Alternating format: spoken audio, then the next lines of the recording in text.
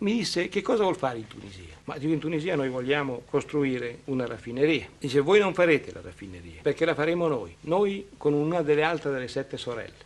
E io dissi molto umilmente, gli chiesi cosa ne pensa se invece di farli in due, se si facesse in tre. Disse no. E allora io lo guardai e gli dissi: ho l'impressione che non abbiamo più niente da dirci. Però dico, lei il colloquio di oggi se lo ricorderà per tutta la vita, perché noi siamo dei poveri, abbiamo bisogno di lavorare. A questo punto ci lasciamo. Io dissi al giovane ingegnere che mi accompagnava: visto che egoismo terribile, impotente, se lo ricordi per tutta la vita. Abbiamo, io ho visto insieme d'altra parte società inglesi, americane, olandesi, francesi, belgi, tutti uniti contro di noi. Due volte credevo di aver perduto, poi ripresi forza, poi abbiamo vinto. Perché abbiamo vinto? Perché abbiamo posto delle condizioni che sono molto più umane.